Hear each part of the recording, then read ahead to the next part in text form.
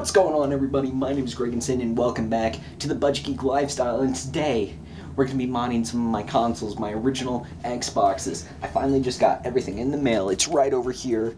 And you know what? I think we're going to have a fun time with this.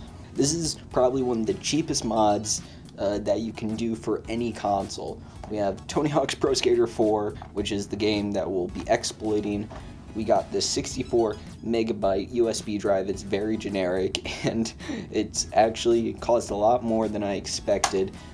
We got this cable, which is a female USB to a regular like Xbox uh, controller thing. If it'll focus, it doesn't matter.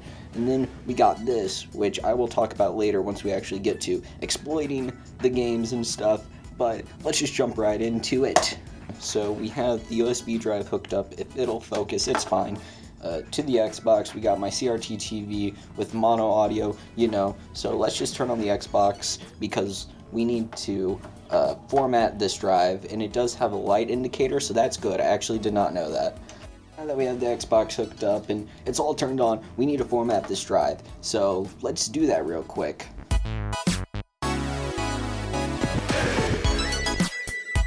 Alright, so the mem memory card is showing up, and unfortunately, I don't have any screen capture, but if you do want screen capture, I will link down a video tutorial down below. But first, we need to actually make sure that the Xbox will make sure it keeps the formatting because when I was doing things with the SD card, this SD card to USB adapter, it would just keep reformatting the drive every time I would unplug it from the Xbox. So now, moment of truth. Will this be completely formatted and not reformat itself?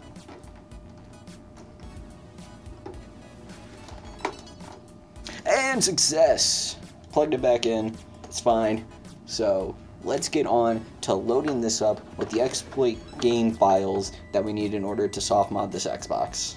Alright guys, so we're here on my desktop and we have Xplorer360 Open, which is a program that allows us to open up our USB drive that has not been formatted by Windows. We just clicked on that. Here we are, and there's nothing on this drive right now. And we have the Xbox soft modding tool from Rocky 5, which I'll also leave in the link to the description below. Uh, the tutorial that I leave will also tell you everything that you need to know about this tool. But basically, we've downloaded this from GitHub. We've built this file, we've unzipped this zip file, we've gone in here, and now we need the soft modding packages. This udata folder I created by unzipping this soft mod save using 7-zip and just extracting the files here along with the game that I'm using, Tony Hawk's Pro Skater 4. There's a bunch of other games that we will talk about later when we discuss just how cheap it can be to mod your Xbox. But for now, let's drag over the game save for Tony Hawk that we're going to be exploiting. Uh, there should be a little save bar. It's not there. And then, oops, let's drag over the data that we need for the soft mod itself. There we go. It's coming up. This one is going to take a little bit longer just because there's so many other files, but that's fine. Just wait a little bit. It's not too many files. And now it's done. So we have everything that we need, we have all the files that we'll need in order to exploit the Xbox. Let's jump back over to the Xbox after I, you know, take out the USB drive from the computer. Hey guys, we're back. We have the flash drive plugged into the Xbox with all the files loaded onto it. We have our Xbox here. We have the TV, of course. Let's turn everything on. So right now, the Xbox is off. I just want to turn it on and make sure that we can copy the files from this flash drive over to the hard drive. So here we are in the memory unit, and as we can see, we have this custom hack Xbox Park file that we need to copy on over to the Xbox hard drive. There we go, simple as that. It's a very small file, and then the Xbox soft modding toolkit as well. Do not delete.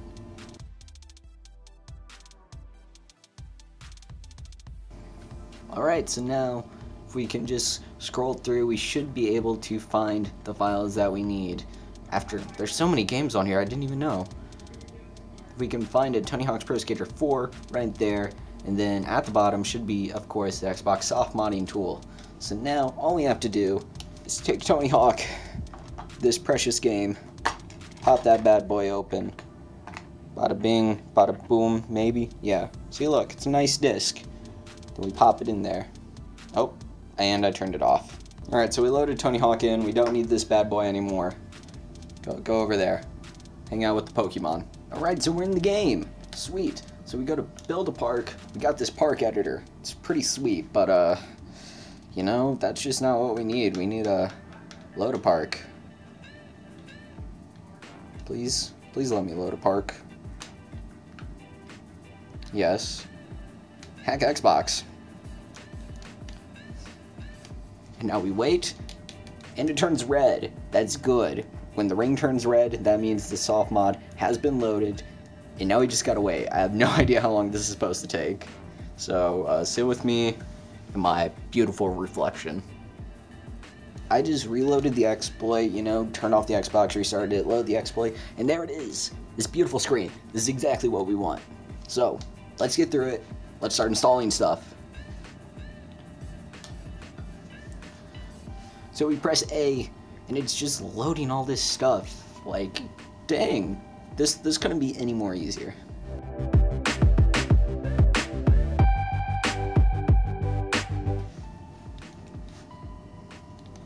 Alright, so now we're backing up our EEPROM, which is very important.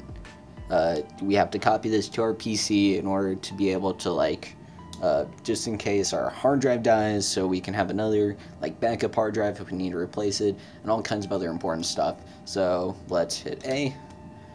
And then yes this is needed yep. And wow is that it? Hey. So now we're just gonna take out the game real quick. And then I believe we should be good I think that's literally how easy it is. So now, we wait for this to load up. Like, I, I honestly didn't expect it to be that easy. I thought it was going to be a little bit longer. I thought the footage that I've been watching, yep, there it is. See? It's installing everything right now. It's really simple. Just moving all these files, and the ring is orange, so that's good.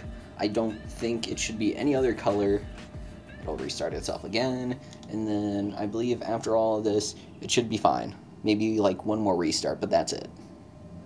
And here we are. This is it. This is what the soft modded Xbox looks like. We can launch games, applications, and all kinds of other stuff, but I am not done yet. There's other stuff that we can do to this Xbox to make it extra cool, and it, all it requires is a DVD that you can burn. Right here, this is a blank DVD. You can buy a set of these on Amazon or eBay or whatever for just a couple dollars. It's just a generic brand. It's a DVD plus R. I don't think it matters too much, but this has been burned with the extras disc for this, which comes with a lot of cool applications and other stuff that we can use to enhance our soft modded Xbox. So let's just load that real quick by pressing A. You just gotta launch this disc, baby if, if it'll say that it's initializing. Oh. It's, you know, we just gotta wait a bit. I don't think the disk drive's the greatest in this one. Empty. Empty! We've reloaded the Xbox, and here we have the extras disc. You know, there's a disclaimer, there's a whole bunch of applications we can install, and you know what? I'll let you guys watch the tutorial, but uh, let's just uh, install everything real quick that I want in this.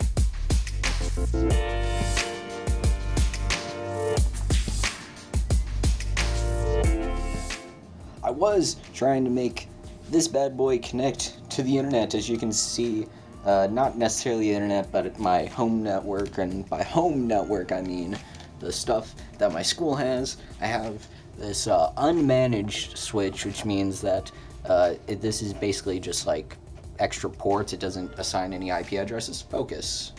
Focus. It's not going to focus.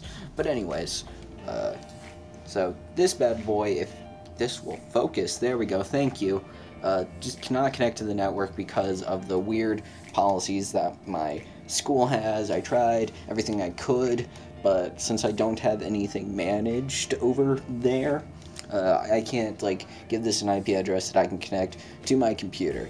So uh, I guess that's where we're at for at least setting this up. I'll have to figure out some way to back up the EEPROM later. But let's head over to the computer so we can figure out how much all these modifications, all the things that you'll need to buy, how much that will cost you if you want to soft mod your own Xbox. So, I went on eBay to find prices for a whole bunch of these things, and this is a relatively cheap mod, as I've been saying throughout the video.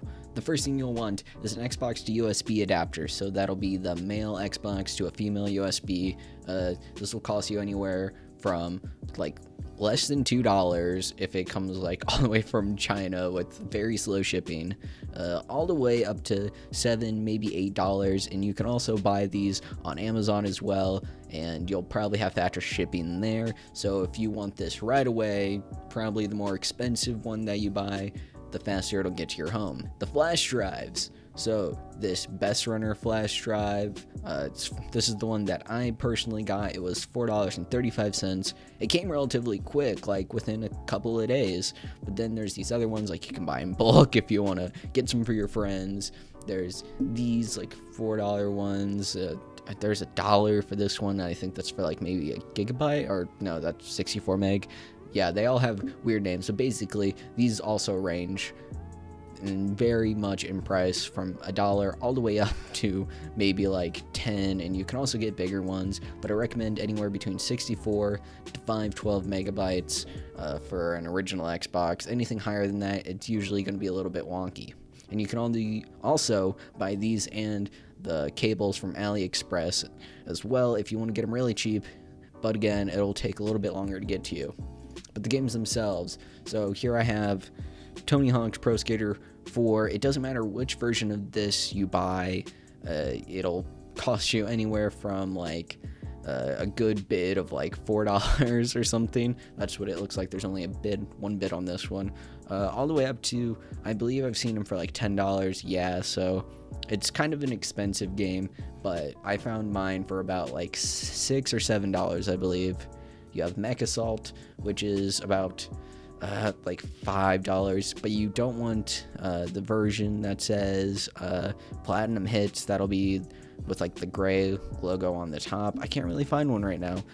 Uh, that's really weird. Usually uh, you find a lot of those but i'm not. So if you can get a MechAssault that looks like this without the gray label like where is it? Not not lone wolf. If you want the original one like this one i believe.